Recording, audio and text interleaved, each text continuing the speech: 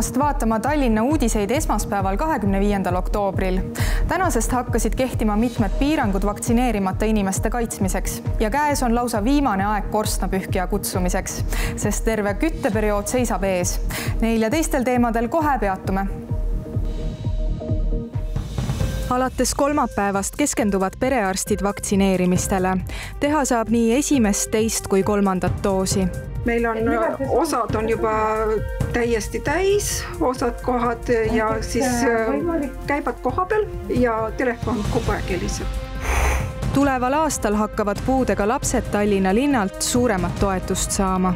lisakulud, äh, mis kannab pere täiskasvanute inimene, on ikkagi sadades tuhandetes tänasest hakkavad Eestis kehtima piirangud vaktsineerimata inimestele, kes ei pääse enam negatiivse testi alusel meelelahutusasutustesse. toetust Covid voodikoha eest tõsteti haiglatele ning perearstikeskuste jaoks avatakse motivatsioonipakett vaktsineerimise elavdamiseks Eesti haiglates on koroonahaigete tõttu kriitiline seis, mis on juba viinud plaanilise ravi piiramiseni Covid patsiendid, kes on nii raskes seisus, et haiglaravi vajavad, on endiselt suures osas vaktsineerimata kodanikud. just seetõttu võttis valitsus vastu piirangud, mis vähendavad vaktsineerimata inimeste nakatumisriske meelelahutusasutustes. üldiselt inimestel on läbipõdemistõend või nad on vaktsineeritud, et me oleme nüüd ka uus muuseum, me avasime alles kahekümne neljandal septembril. olemegi vaadanud, palju siis tuleb testiga, no väga üksikud inimesed ja nüüd nende uute piirangute rakendudes ka, et mask, maski soovitame ees hoida, ise oleme oleme maskidega, et meil on õhupuhastajad, mis on äh, Kultuuriministeeriumi Covid meetmega, me oleme saanud, meil on väga hea ventilatsioon, sest oleme just renoveeritud maja, et meil on selles mõttes võib-olla paremini. vastu võetud meetmed kehtivad kuni kümnenda jaanuarini, et hõlmatud oleks ka jõulupidude aeg vaktsineerimata täiskasvanutele piiratakse ligipääs meelelahutusele, kultuurile ja toitlustusasutuses kohapeal einestamisele. avalikes siseruumides hakatakse kontrollima ka maski kandmist. ettevõtted, kes uutele piirangutele ei allu, võib Terviseamet ajutiselt sulgeda. meie majas on üheksakümmend kaheksa protsenti külalistest seni olnud juba vaktsineeritud. et see, kes seni testi tegi, neid oli nii väike osa et kõige suurem kahju meie jaoks on see, et me ostsime neid teste nii palju kokku me oleme lihtsalt rõõmsad, et me saame lahti olla. tegelikult on see kogu asja võti, et nii kaua, kui me saame lahti olla, nii kaua on inimestel tööd, nii kaua meie saame edasi toimetada ja, ja siis on kõik hästi koroonatõendite looja TEHIK andis hiljuti teada, et enne kahekümnendat oktoobrit loodud Euroopa Liidu Covid tõendid kehtivad reisimiseks alates loomisest sada kaheksakümmend päeva. seega hakkavad esimesed tõendid detsembris kehtivust kaotama, kuid see ei hõlma siseriiklikku kontrolli. enne reisi soovitatakse luua patsiendi portaalis uus tõend. pärast kahekümne esimest oktoobrit loodud sertifikaadid kehtivad hetkel kaks aastat perearstikeskused on selle nädala kolmapäevast orienteeritud vaktsineerimistele, mistõttu võivad mõned tavapärased vastuvõtud edasi lükkuda. vaktsineerima oodatakse kõiki, teha saab nii esimest, teist kui kolmandat tõhustusdoosi Jürgensoni perearstikeskus Mustamäel plaanib sel nädalal ära teha vähemalt sada kaheksakümmend vaktsiinidoosi. oodatud on nii need, kes veel vaktsineerimata, kui ka need, kes teist või kolmandat doosi soovivad. südameasi on saada vaktsineerima kuuskümmend viis elanike grupp ning riskirühmad kas me helistame ise patsientidele, äh, näiteks kuuekümne viie aastased ja vanemad, äh, äh, tavaliselt ikkagi kasutame sellist proaktiivset meetodit, et me ikkagi helistame nendele inimestele, kutsume nad kohale. mõned inimesed kirjutavad, helistavad meile ise, kes avaldavad soovi, et nad sooviksid tulla. Ja digiregistratuur on ka selline koht, kus saab tegelikult nendeks aegadeks ennast, ennast kenasti kirja panna vast renoveeritud Pirita perearstikeskuses on täiskasvanute vaktsineerituse hõlmatus seitsekümmend kuus protsenti. praegugi on huvi vaktsineerimise vastu suur, üldiselt küsitakse kolmandate dooside järele. meil on, osad on juba täiesti täis, osad kohad ja siis äh, käivad kohapeal ja telefon kogu aeg heliseb. no ma arvan, et meil on kuskil nelisada, viissada inimest nädalas tuleb siia kohale. praegu mulle tundub, et on eakad inimesed tõesti, nemad on väga huvitatud ennast kaitsma. ja, ja on ka, on ka nooremaid. kuidas saada aga vaktsineerima need, kes ei ole veel ühtegi doosi kätte saanud?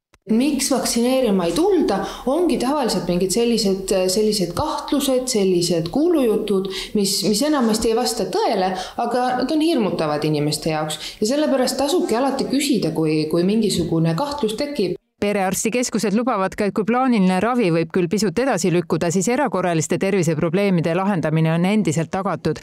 vaktsineerimisperiood kestab viienda novembrini ja koroonavaktsiini kõrval saab teha ka gripivaktsiini tuleval aastal tõuseb Tallinnas puudega lapse toetuse määr. seda saab taotleda, kui lapse elukoht ning vähemalt ühe vanema elukoht aasta enne taotluse esitamist on olnud katkematult Tallinna linn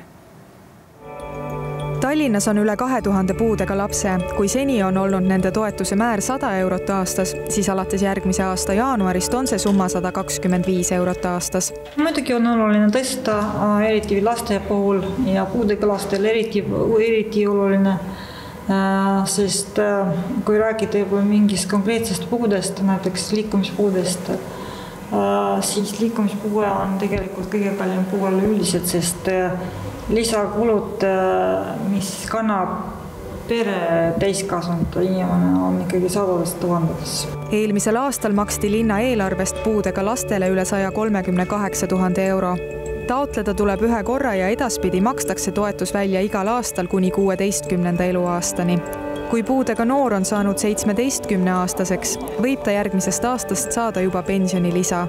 varasemalt maksti pensionilisa vaid täisealistele. ja nüüd me laiendasime seda sihtrühma, et ka seitsmeteistaastased äh, lapsed saaksid äh, oma seda lisa või nende vanemad kord aastas Tallinna linn on aastaid pakkunud toetust ka Tšernobõli veteranidele.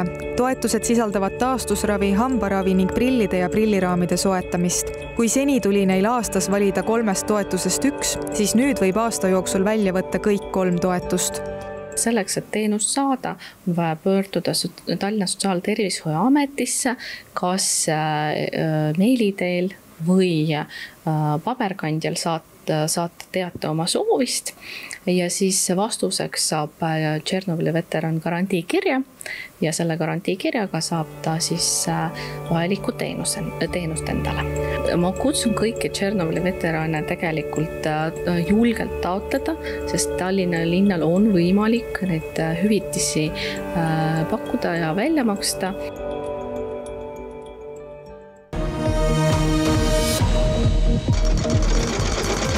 esmaspäeval, kahekümne viiendal oktoobril algavad Sitsi tänaval Sõle ja Kopli tänavate vahelisel lõigul rekonstrueerimistööd, mis lõpevad järgmise aasta juulis. tööde käigus vahetatakse Sõle ja Kopli tänavate vahelisel lõigul välja äärekivid ning taastatakse haljasala. sõidu- ja kõnniteele tuleb uus asfalt ning taastatakse teekattemärgistus. Sitsi tänava ning Sõle ja Kopli tänavate ristmikel ehitatakse välja ka vee- ja kanalisatsioonitorustik korstnapühkijatel on tipphooaeg, kes tahab täna tellida korstnapühkijat, peab ootama kuni poolteist kuud. seadus on pannud korstnapühkijatele kohustuse täita küttekolde portaali, kuhu peaks kogunema kogu teave Eesti kütteseadmetest.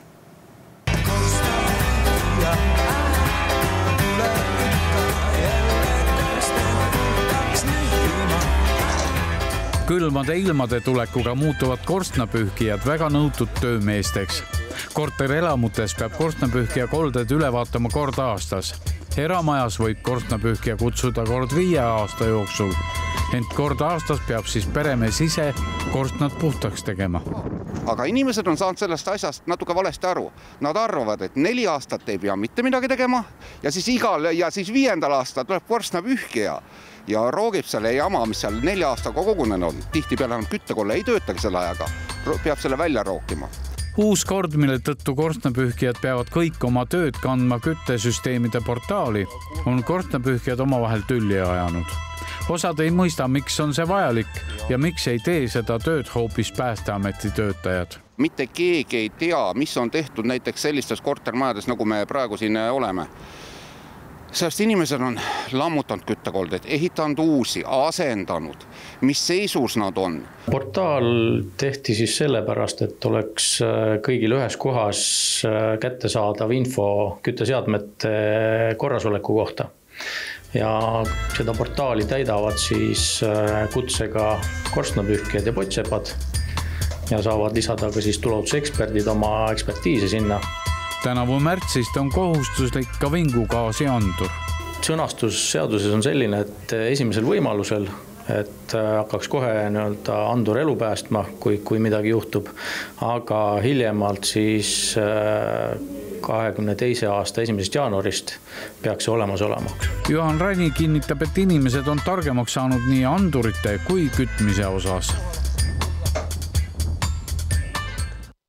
Kristjan Raua nimeline preemia on kunstnike jaoks kõrge tunnustus. nädalavahetuse hakul jagati taas rahalist preemiat, mille seekord pälvisid neli kunstnikku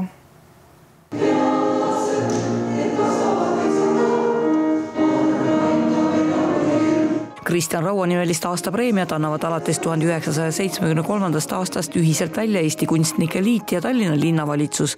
sellel aastal pälvisid kõrge preemia Rein Raamat, Tiit Pääsuke, Jaan Pärn ja Elo Liiv. Oi, ma olen saanud mitmed-mitmed preemiad ja, ja ma arvan, et, et, et ma olen üle küllat-, kullatud nendega, nii et, et ma olen, mul on piinlik isegi maalikunstnik Tiit Pääsuke sai rauanimelise preemia, aga juba kolmandat korda. mul on tagantjärele niisugune tunne, et võib-olla esimene kord ma ei olnudki nii üllatunud, noh, noor inimene arvab endast ei tea mida, aga nüüd ma ma olen küll üllatunud ja ma arvan, et me kõik oleme, sellepärast et kui me teeme oma asja, kes maalib, kes teeb filmi, ega me ei mõtle ju selle auhinna peale ehtekunstnik Jaan Pärn ütleb, et tema eriala kolleege tunnustatakse selliste preemiatega väga harva. minusugused vanamehed ei kasuta enam väga palju Instagramme ja mida iganes, internetti ja muud. mina püüan tööd teha ja kui siis seda tööd nähakse ja käiakse vaatamas, no siis nii-öelda kuuldus levib. no teie ütlesite ise, et eh, nagu välismaal on seda tunnustust nagu rohkem kui Eestis, vastab see tõele või? no tunduvalt. kunstnikuna arened kogu aeg, et see preemia on ikka tunne tunne, nagu sa oleks siis nagu valmis või oled midagi ära teinud, aga ise ei, ei märka seda.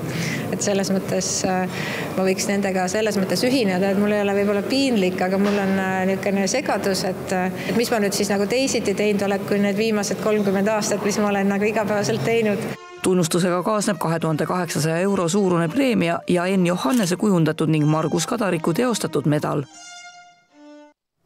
lähiajal väga palju külmemaks veel ei lähe, ent vihmavari võiks küll igaks juhuks kaasas olla. vaatame üle lähipäevade ilmaennustuse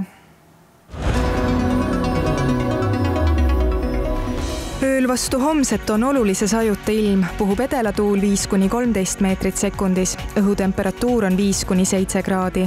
homme päeval on pilves ilm, õhtupoolikul võib sadada vihma, puhub edelatuul viis kuni kolmteist meetrit sekundis, õhutemperatuur on kaheksa kuni kümme kraadi. Ööl vastu kolmapäeva on pilves ilm, sajab vihma, hommikuks sadu lakkab. Õhutemperatuur on kuus kuni kaheksa kraadi. Kolmapäeval on enamasti pilves ilm, pärastlõunal sajab vihma, õhutemperatuur on kaheksa kuni kümme kraadi. ööl vastu neljapäeva on pilves ja sajab vihma, pärast keskööd sadu lakkab, õhutemperatuur on kuus kuni kaheksa kraadi. neljapäeva pärastlõunal hakkab vihma sadama, õhutemperatuur on üheksa kuni üksteist kraadi sellised said tänased pealinna uudised. aitäh, et meie saadet vaatasite. kohtume taas homme ikka samal ajal kell kaheksateist nelikümmend viis. ilusat õhtut